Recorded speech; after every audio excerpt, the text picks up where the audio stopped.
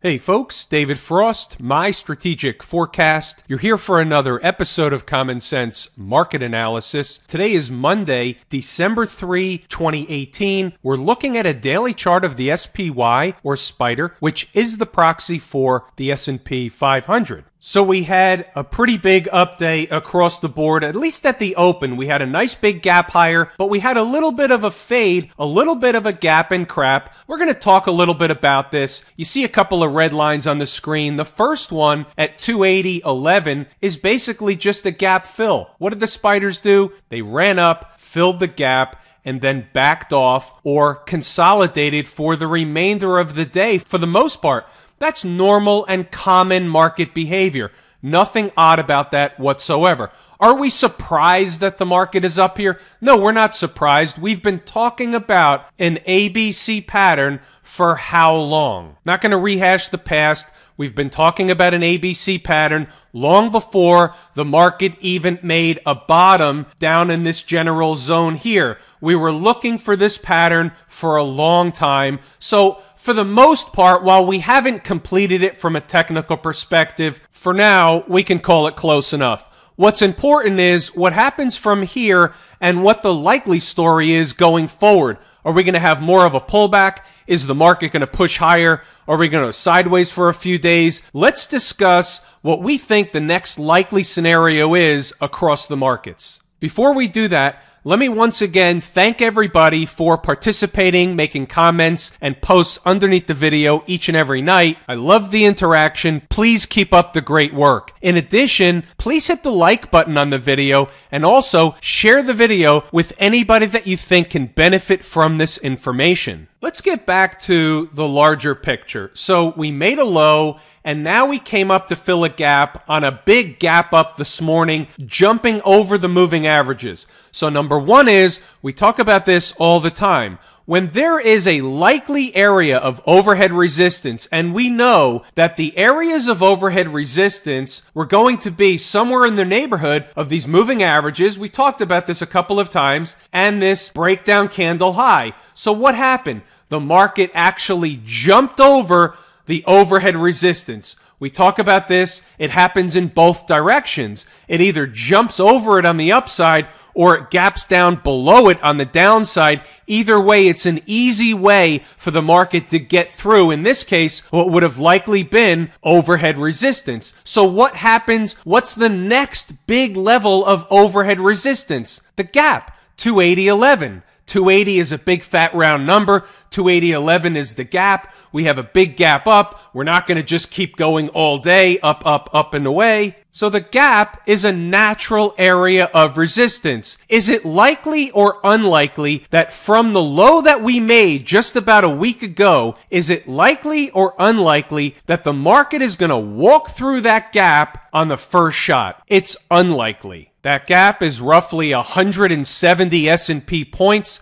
from where we bottomed just about seven days ago. And anybody out there that really thought the market was just going to waltz through that area needs to watch more of these videos. It's unlikely to happen. Out of a hundred times, something like that would happen maybe two, three, or four times. That's it. So out of a hundred times, I'm going to take that trade on the short side at that gap a hundred times, and the three or four that I lose will be absorbed by the 96 or 97 winners. In addition, we were talking for the last several weeks about buying stocks because stocks get the biggest bang for the buck, the biggest gain when markets do this. When markets bottom and indexes go up 3 or 4% or 5% off a bottom, something like that, stocks can go up 7, 10, 15, 25, 35% off of severely oversold price levels. So what happens when you wake up, the market's gapping higher,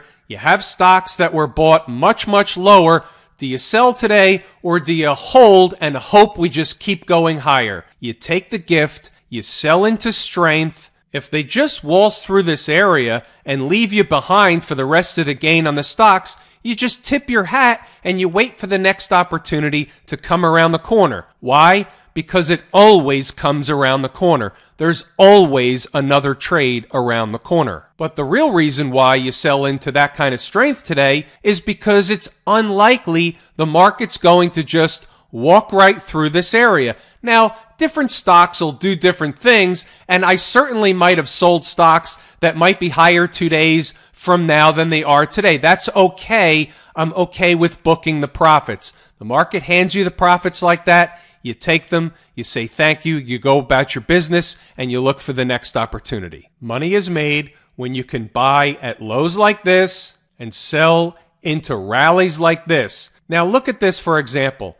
the S&P finished up 1.3%. So it was slightly higher at the open first thing in the morning. There were stocks that were up 6, 7, 8% at the open today. Some of them faded away, some of them stayed strong. Keep in mind, that's just today. These stocks were bought at much lower prices. That's why you want the biggest bang for your buck. The likely story from here, likely scenario the majority of the time is we're not going to walk through this area. We're going to have some kind of a pullback. Now we've left an open gap, a pretty significant open gap. The question is, are they going to come back down and fill this gap anytime soon, or are they going to leave it open and just trade north from here? Here's the way I have to look at it. My experience tells me they'll come back down and fill the gap, usually within a few days. However, if we begin closing daily above 281.22,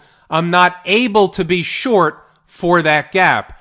That would mean the market's likely pushing higher and we would have new upside targets on daily closes above 281.22. And that's the way you have to look at the SPY based on the daily chart. At least that's the way I have to look at the SPY. By the way, anybody that's taken the course at Lazy E-mini Trader would have known why today was an extremely important day. You see a gap higher, you know today is an important day, you have to be able to put that together. Anybody that's taken the course should be able to put that together, is able to put that together. Let's take a look over at the IWM.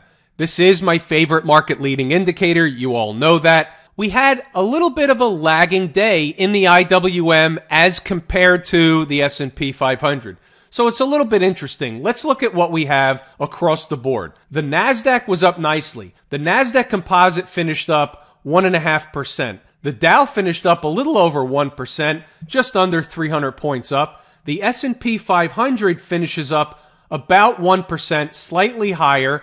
The transports we'll get to in a moment. They finished fractionally higher, not much. And the IWM finishes up less than 1%. So here's what I have to look at. So the IWM is not leading the market to the upside. Okay, that's on the table. That's a puzzle piece. Secondly, it's not reached its 50 day moving average just yet. It had an opportunity today. I think that's an important development. It's not a huge puzzle piece, but it's a puzzle piece. It's a smaller one, but it's on the table. Had an opportunity to get to an important price, neglected to do that. I have to look at that. It's the difference between looking at what the market does do, but also looking away looking at what the market doesn't do and finding significance in what the market's not doing. Most people don't look at it that way. What's the market doing? But also, what's the market not doing? And can that or is that important? To me, the IWM not reaching the 50 period moving average was important. But I have something that's more important. We have a breakdown candle. So the high of the breakdown candle is 154.17 we closed below 154.17 today. 154.08 is the official print on close, and that's not an accident or a coincidence. Anybody that thinks otherwise, put the bong away and clear your mind. Whether or not the market goes up or down tomorrow is not necessarily linked to that, but my point is that they had an opportunity to close above that breakdown candle high and just chose not to do it. I find that important. I find the miss of the 50 period moving average on this chart important. To me, those are puzzle pieces. They're on the table. How about the VIX? I think it's worth discussing once again the VIX. So we closed below an important level, but not below another one. So here we gap below and close below that breakdown or break up candle low. But of course, there's another one right here. So just looking at the actual raw numbers, the low is 1583 and we closed today at 1595. Accident or coincidence?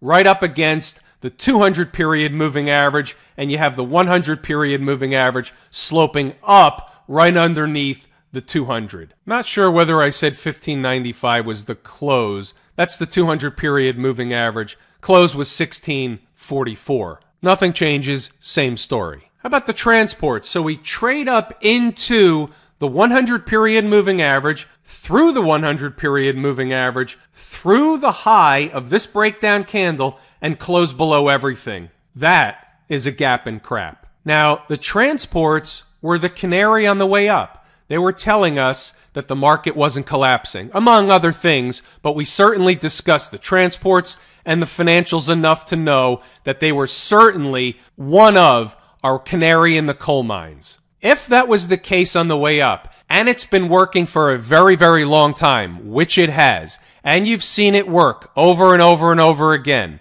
and we had a poor showing in the transports, the worst of the bunch, up about one quarter of 1% on a gap and crap. Do we want to take a cue that the transports are likely a leading indicator again, and there's probably a pullback coming in the market after the tremendous run that we've had off the bottom? Yeah, I would say that's probably a good thing to do is take the cue from the transports. Now, before we move on, I just want to discuss for a second how do we put all this together and what does it really mean? So, are we going to fill the gap and keep going lower? Or are we going to fill the gap and continue higher? What's the likely outcome from where we are today? Well, we don't necessarily know yet. What the likely outcome in my mind is, and what I've had mapped out, and I have no reason to change because the pattern is not complete, is an ABC pattern. So let me start there and then I'll drill down a little farther, okay? Here's your A leg. We had the B leg. We're in the C leg. We've almost completed it. Technically speaking, it's got to get above 281.22 to be complete. That is likely to happen. It doesn't have to happen tomorrow and it doesn't have to happen this week. But we've come a long way off the bottom and today, once again, is a very important day. So it stands to reason filling a gap. I showed you the other markets. It stands to reason that we would have a pullback for a couple of days, maybe three days, maybe four days, maybe two days, but that's not out of the question. In fact, it's garden variety, normal market behavior. So what I would say is if we fill the gap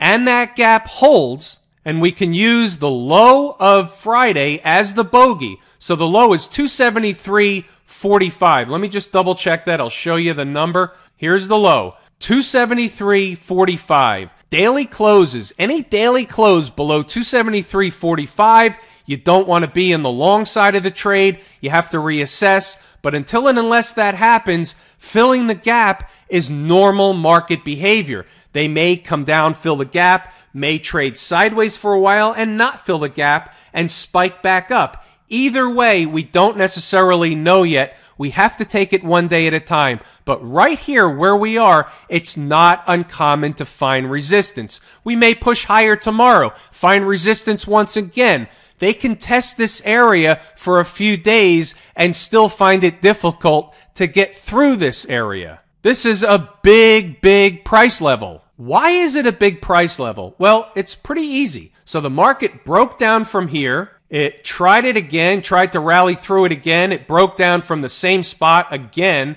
And here we come again back to the same area. Maybe the third time's a charm. Maybe we bust through the third time.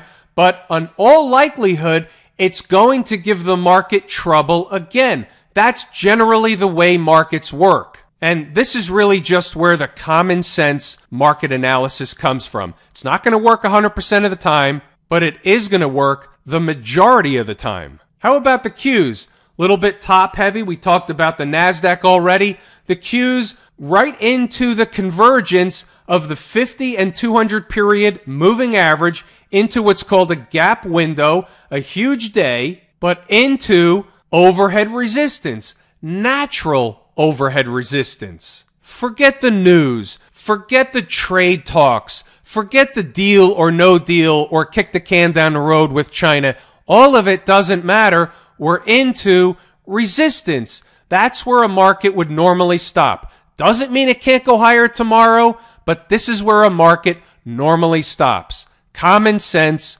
market analysis. Can the Qs go up slightly higher, fill their gap up here? Absolutely. Can that happen tomorrow? Absolutely. Can it still be resistance and can we still have a pullback for a few days? Of course we can. Was today also an important day in the Qs? You betcha. Right out of the course, lazy e-mini trader. Very important day in the Qs. Very important day in the spiders. XLF. We talk about this one repeatedly. Right into a 100 period moving average. Even came up slightly short, backed off. Gap and crap. Same routine. The market was up, but the XLF finished only up 0.6%. Really not a tremendous day. That's telling you there really wasn't institutional participation behind this rally. This wasn't another new leg of a bull rally. There was some short covering, there was some selling into the strength, and we really didn't have tremendous volume, and that's the takeaway from today across the board. All those things put together lead me to believe that we're more likely to have at least a sideways to pullback type of activity type sessions over the next few days. By the way, speaking of next few days, everybody should just note that the U.S. markets will be closed on Wednesday out of respect for the 41st President of the United States, George Herbert Walker Bush. So the markets will be closed for his funeral as he lay in state. And rightfully so. That's not a partisan thing. That's a respect for the office of the president thing. Like the transports, the XLF was another canary in the coal mine for us. We talked about this repeatedly. We talk about this repeatedly that without the financials participating in either direction in a big way, either on the upside or the downside, it's likely we're going to see the market participate in a big way in either direction. You need participation from some of the big sectors, financials being one of them. Financials are the cornerstone of the market. Like it or not. The SMH, this is the proxy for the Philadelphia Semiconductor Index. We gapped above the 50 period moving average. We identified this one long before we had bullish behavior in the SMH long before we identified it across all the markets. We talked about it here several times, and this is the result. Even a very good close in the SMH. So what do you do with information like that? Well, here's what you do. You take the components in the SMH, the semiconductors, and you start looking through the semiconductors. And if the market pulls back over the next few days and any of the semiconductors or all of the semiconductors have pullbacks in kind, you start looking for chart patterns that make sense because there's relative strength right here in the SMH. And if the market's going to push higher for another leg to at least complete the C leg, then we may be able to get a secondary push out of some of the components found in the SMH. That's what I'll be doing anyway. We can run through a few of the stocks, take a look at the charts. Interesting, right up to this important double top, triple top area in Amazon. Didn't make it to the 100, but that's quite a distance from where we are. We did gap above the 50 period moving average. That, along with everything else discussed before, common in order to get through areas that are likely overhead resistance. Look where Amazon came from where these lines are down here. Even take the top one at 1457. It's over $300 ago in a week and a half. That's why we buy stocks. Nice good rally today in Apple. They're going to go for this gap up here. There's a 20 period moving average. Might not get there right away, but nice move off the bottom. Remember we talked about the retracement off this tail candle when it took place in Apple. In fact, we talked about the retracement before it took place because of the tail candle. And there are plenty of you out there that picked up Apple around 173, 174. Kudos to you. Facebook, a dog with fleas. Facebook is up 50 cents on a day when everything was getting a bid because a rising tide will lift all boats. There are problems in Facebook. Netflix up four bucks today, a percent and a half. Not a great day. Somewhat of a pseudo doji candle. Important day for Netflix? I would say so, right out of the course. Google, gap and crap, right into the 200 period moving average, crapped out. We talked about it down at a thousand. Today it was 1130, 1135, I think, at the high. I think you all get the point. We came a long way in a short period of time. Common market behavior. We're likely going to consolidate or pull back for a while. That's okay. That's the way the market works. On gold, nobody should be surprised with higher prices. We've been talking about higher prices. It's just a matter of time. It's just working its way higher. Talked about 1240. 1240 was basically the high today. No real new information in gold. Crude oil finally got up off the mat. We were making a bear flag pattern and we had a nice big rally today along with the markets in crude oil today. But again, we're still inside the high of the breakdown candle. So therefore, as long as we remain underneath the high of the breakdown candle, it's still technically a bearish pattern. We may test the high of that breakdown candle, but until and unless we close a day above the high of that breakdown candle, nothing doing. There's nothing to do in crude oil except potentially take a short trade at the high of that breakdown candle, and then you'd have to close out the trade if they closed any day above the high of that breakdown candle. That's the only trade from where we are now I see on the board, at least based off the daily chart. And with that, folks, it's pretty much everything I wanted to and intended to discuss tonight, so I will give it a wrap here. I'm David Frost, my strategic forecast. Thanks for tuning in for another episode of Common Sense Market Analysis.